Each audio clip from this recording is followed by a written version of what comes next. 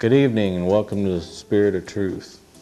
I'm Brian LaChance and we're going to be bringing you a gospel show tonight and doing some songs off our family album and uh, going to be playing a hymn on uh, the guitar for you and we're going to be talking about uh, shattered lives today on the show. So if you know somebody or you yourself have had a shattered life at one time or another, um, why don't you tune in to us and uh, we're going to be sharing how to how to rebuild a shattered life. You know, once uh, once it gets that way, and uh, I'm going to kick off the show and play a little instrumental hymn uh, called uh, "When the Roll Is Called Up Yonder."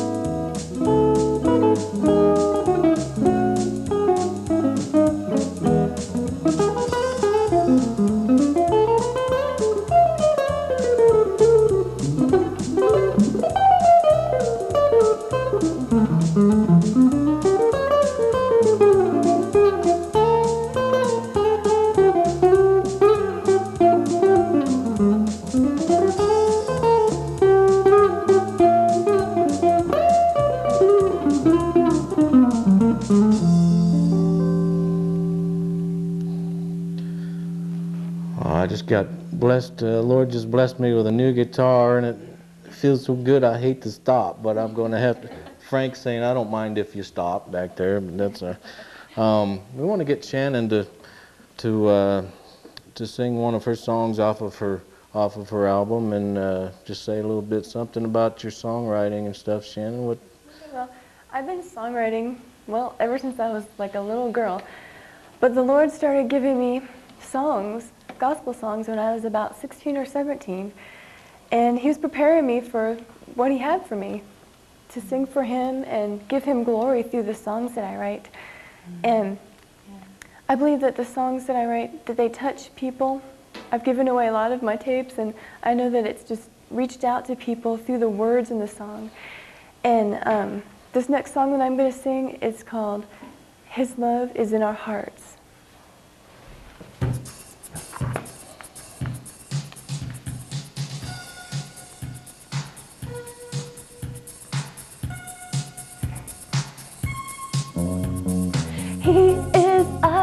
Love is in our hearts.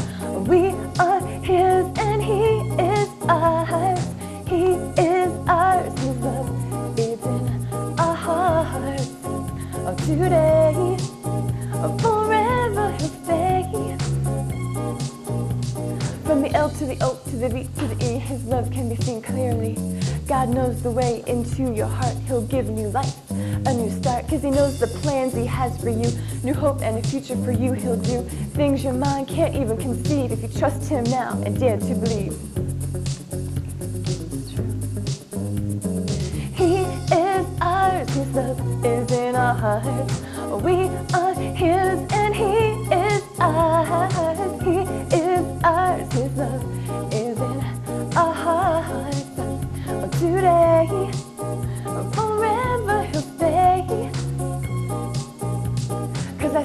Things that God has done, given new life through his son, Jesus died on the tree so you and I could be set free. He's the A and the Z, the first and the last. The Word of God who forgives our past. His love is alive in my soul. Only He can make me whole.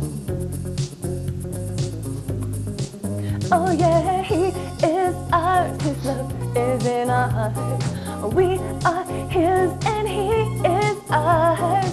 He is ours. His love Today, forever He'll stay. Forever He'll stay. And because I know Jesus as my personal Lord and Savior, I can truly say today that He lives in my heart and His love will stay. Amen. Amen.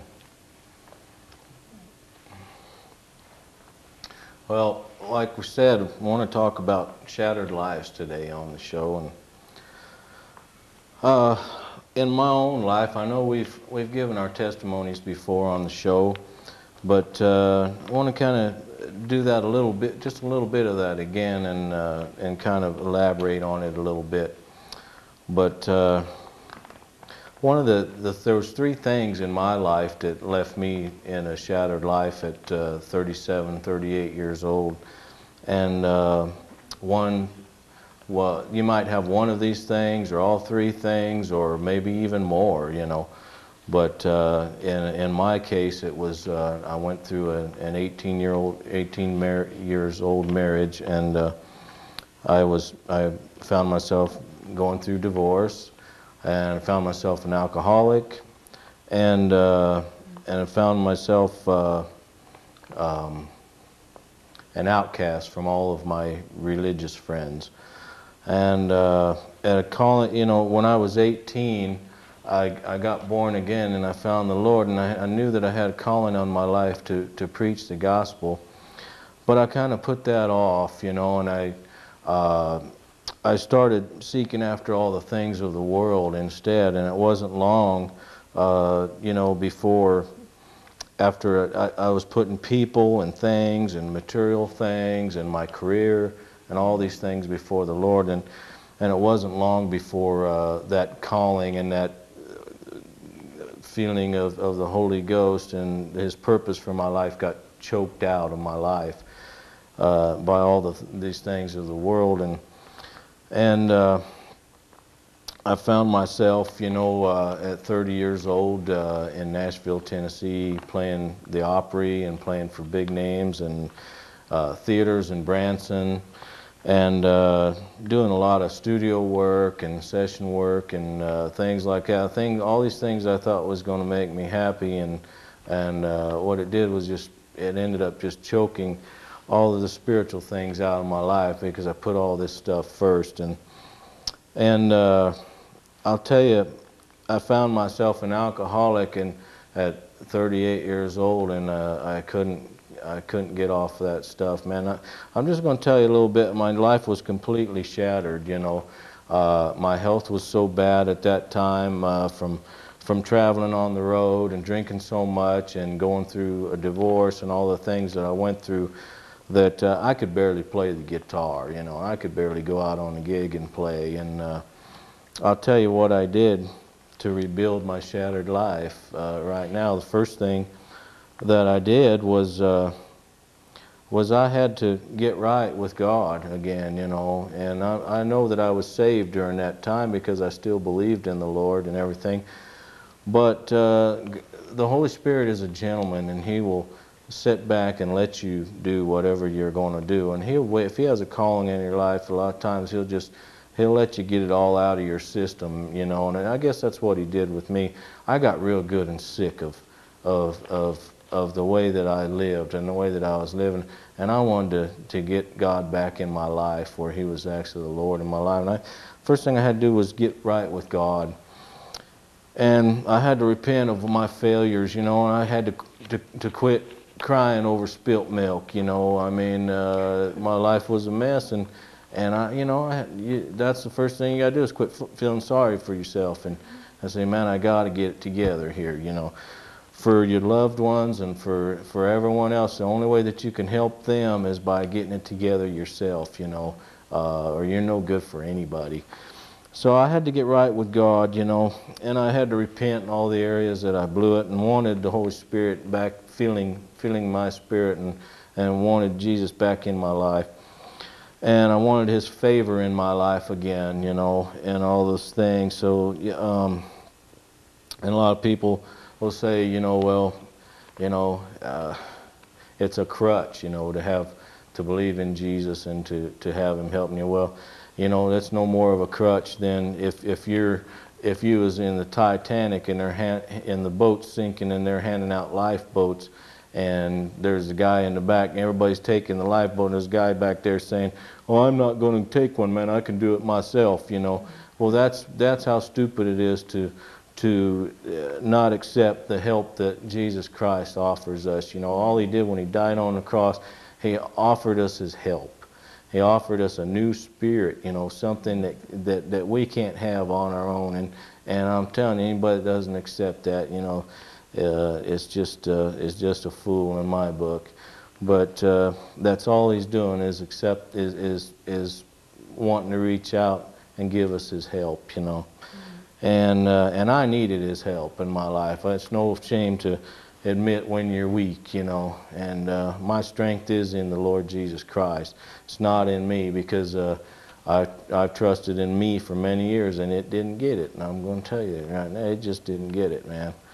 Uh, the next thing I had to do was I had to I had to get rid of the alcohol in my life, and I can't explain. You know, I was an alcoholic for 10 years. I drank every day and every night, and I can't explain how how I got free from it. I, I went to A meetings and all that stuff. It didn't do no good. What helped me was when I went to the altar and the Lord took that away, and I can't explain it. He just He just completely delivered me from it. And if you're an alcoholic or a drug addict out there today and you're listening to me, man, don't turn me off because uh, the Lord loves you, you know, and just because you're an alcoholic or, or drug addict doesn't, you know, the Lord still loves you and and if you believe in Him and you confess Him with your mouth and you believe Him, you're still going to get to heaven. You're still going to be saved. But God can set you free from that stuff. But the trick is you've got to want it. You know, it's a bondage. It was a bondage in my life. And, and I knew if I stayed an alcoholic, you know, that uh, uh, if I got married again or whatever, you know, uh, the, I, of course, I wanted to, to get married again, you know, and uh, and try it again. But I would have had the same mess on my hands that I had the first time. You know, a half a man will attract a half a woman. You know, I I would have just attracted another alcoholic. And how many people know that two people with problems is worse than one people with problems? You know, and uh, so the Lord delivered me from that and took that out of my life. You know, and then I had to get my eyes off of religious people all my religious friends had let me down, man. And, and I'll tell you, I had to start getting my eyes on Jesus, you know, and what he was all about, and reading the Word, and, mm-hmm. and get my eyes off people, you know, because people will let you down. And uh, the one thing that I have here is uh, religion. Uh, religion is living by rules and regulations and condemnation under the old law. And religion is pointing your finger at people and, you know, and always finding something wrong with somebody. But a relationship with Jesus Christ, that's, that's not, that's, that's different, man. It's freedom. It's a new spirit. He gives you a new spirit in your new covenant, man. Uh, it, it, you know, and, and the religious people, are the ones that crucified Jesus. They're the ones that brought him up and, and accused him of blasphemy and everything because he was healing people on the Sabbath day and stuff like that, man. I mean, uh, and all the disciples and the apostles, you know, every one of them were brought up before the pharaohs and everything uh, by religious people because they were preaching that that God lives inside of us now and he's not doesn't dwell in temples and buildings made by man and they all gave their lives you know and, and were martyred man for for for preaching you know this and and that's why I'm saying religion is, is, junk, man. But the relationship with Jesus Christ, uh, that's what helped me. I had to get my eyes off all those religious people and what they were condemning and all this stuff. And uh, I got my eyes on Jesus, man, and he, I, I realized that he forgives and, and, and when you, you know, and he gives you a new chance, you know, and a new life. and uh, uh, that's kind of some things that I went through to rebuild my shattered life, you know. And and I I, I met met my wife, you know, on about four years ago at a revival, and we've been married over three years, and and there was, you know, some things that I had written down on my on on the list that uh, that I had to have, you know, and I think that's good if people are looking for me. you know, they've they've been through a divorce or something.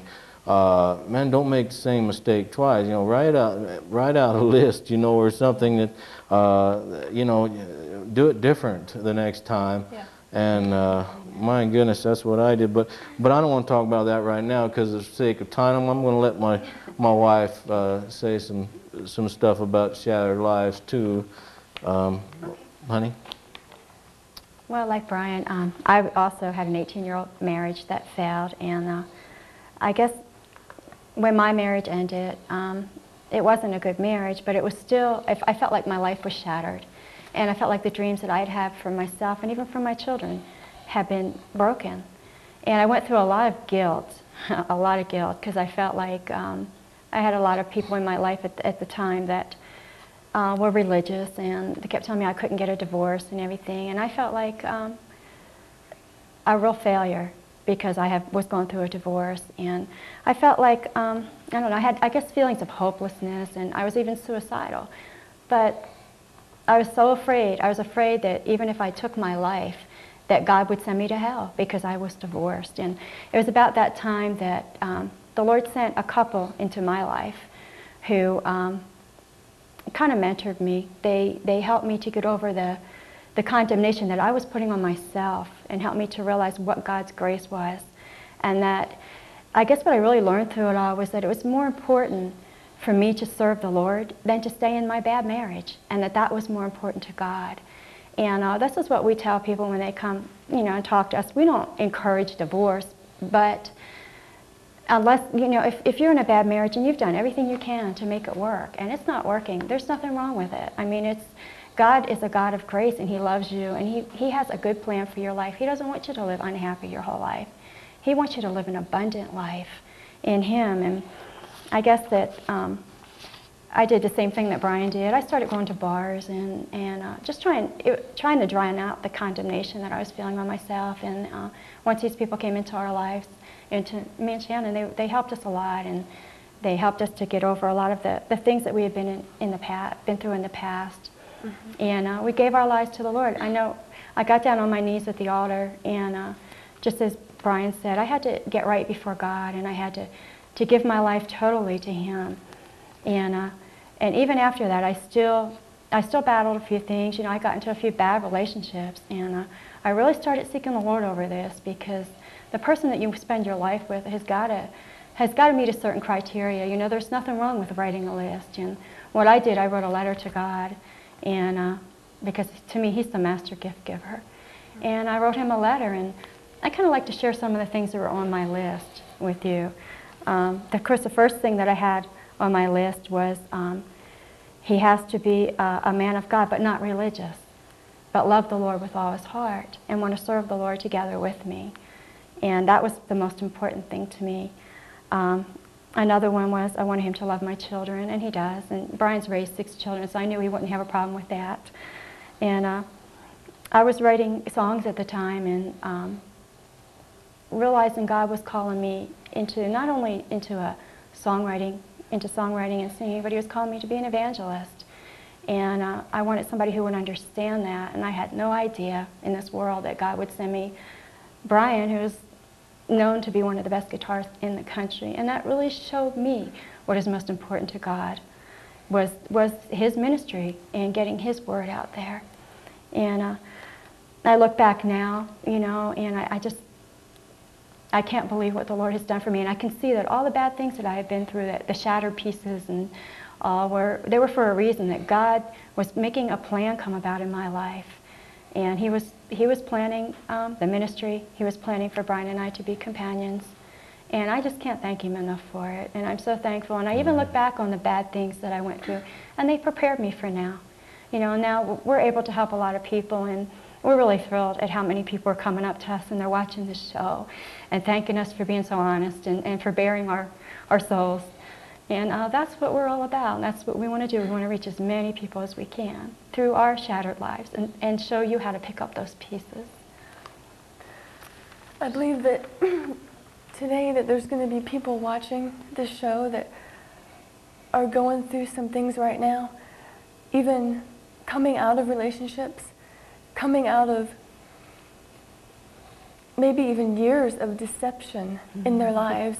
People, because I know we went through a similar situation where you, your trust is broken in people when you get hurt that way, when someone deceives you, when you mm-hmm. find out that somebody, maybe you're in a relationship and you find out that they're, they're not the person who you thought they were, mm-hmm. and you don't know who to trust. And you feel like inside the pain just won't go away. You want to reach out to God. You want Him to heal you, but you feel like turning from Him. But if you turn to the Lord, He said in His Word that He's near those ones that have a broken heart and such as be of a contrite or humble spirit. Mm-hmm. He wants to heal you today. I believe that the Lord showed me this this morning before we were going to do the show that there's going to be people watching that are they're just hurting because someone's lied to them. They've gone through a deceptive relationship. Maybe even someone close to them has hurt them in this way. But if you turn yourself over to the Lord and if you say, Lord, take this hurt, fill me with you, with your Holy Spirit and your mm. peace and your love, I surrender all to you. He can come in and heal you. He can take your broken heart, your broken life, the shattered pieces, and begin to mend them again. He loves you. Mm-hmm. He has a plan for you. If He can do it for me, mm-hmm. for us, if He can heal us like He has, mm-hmm. He can do it for you. He will do it. And I praise Him because He has healed me. He healed my broken heart. I've had a broken heart a few times, as we all have. But He did heal me, and I just give Him all the glory for it. Amen. And God has a plan for everybody's life, for everyone out there. The Lord, you're important to God. Um, I wanted to share with you something that the Lord did for me. Um, when I was around the age of 18, I felt called of the Lord that it was His will for me to go to um, this Bible school in Phoenix. It was called the Master's Commission because in the Master's Commission, it's where young men and women were, they were dedicating their lives to God, and they were just on fire for God. And I wanted that fire, and I just, I wanted to seek the Lord with all my heart, with everything. And I was doing that. But going through this Master's Commission, they did things like they dug real deep into the Word. They, you had to do scripture memory every day, and it just, it built me up. It builds you up. The scriptures do. But um, at that time, when I was wanting to go, I remember that I didn't have the finances that I needed to go, and I just believed the Lord that it was His will for me to go. So I remember one night we prayed that if it was the Lord's will, that He would send me the finances that I needed. And He did. He supplied the need, and it was an awesome miracle. I remember I was so excited that it was really His will. And when I started going to this school, I stopped dating and I just started waiting on the Lord for the right one that He had for me because I was believing that God had the right one for me out there. And during that time, I remember feeling lonely. Mm-hmm. I went through a lot of struggles, feeling lonely, but I, I just, the Lord showed me don't be with somebody just out of loneliness mm-hmm. because the Lord wants to fill that loneliness. He wants you to be a whole person so He can bring that whole person into your life. Amen. And I am so glad that I waited for God's best because it's just so awesome. I, I'm in all of the Lord. I will always be in all of the Lord when He's done in my life. He sent my husband, Timmy, and I love him very much. I'm so glad. We're so happy. And I just praise the Lord Jesus for everything that He's done in my life. And He can do it for you. If He did it for me, He can do it for you. He can heal your broken heart, and He can just fill you with His peace. Amen. He has a plan for you.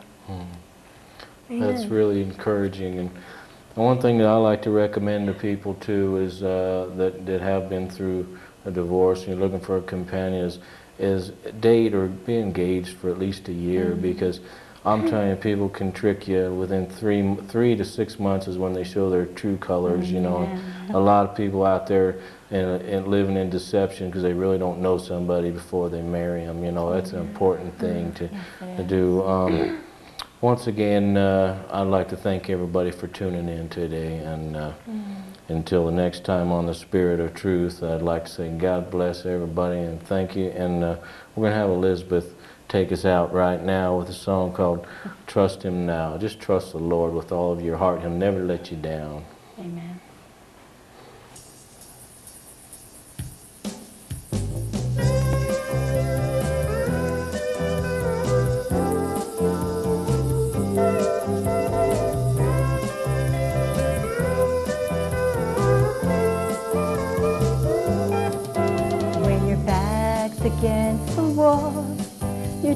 Of giving it your all. You've done all that you can do, and you're going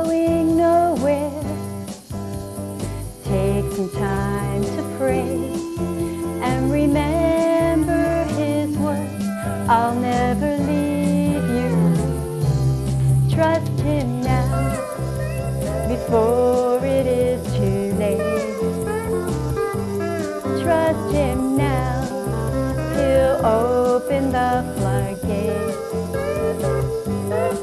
The only hope you have